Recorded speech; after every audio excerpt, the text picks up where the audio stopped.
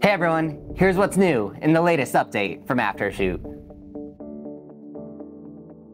First and foremost, we launched culling and editing in a single click. Yep, that's right, one-click cull and edit combines Aftershoot's two core parts into a single efficient package. Set up your culling and editing preferences, click on the start button, and let Aftershoot take care of the rest.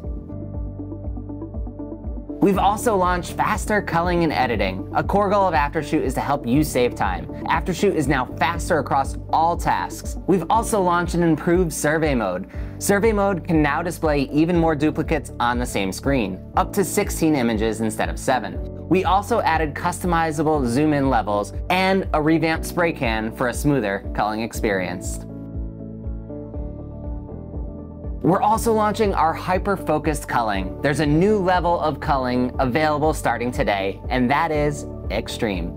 This cull level places only the best images in selected. The images that are just okay will be placed in a maybe category, which replaces the highlights. Try it today to speed up your workflow and harness some of the brand new tools we've launched at Aftershoot.